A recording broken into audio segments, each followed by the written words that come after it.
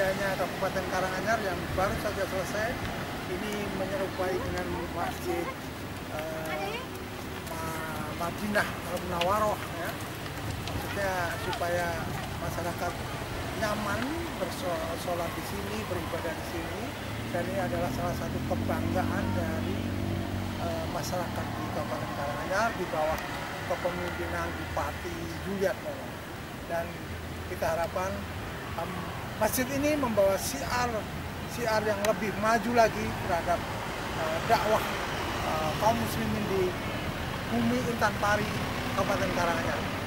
Dari Karanganyar, Safudin melaporkan. Terima kasih.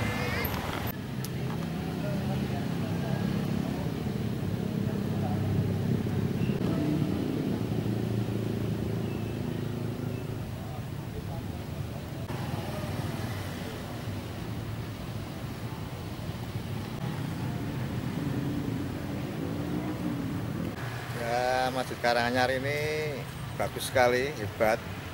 Semoga daerah-daerah lain menyusul punya masjid-masjid yang bagus ya.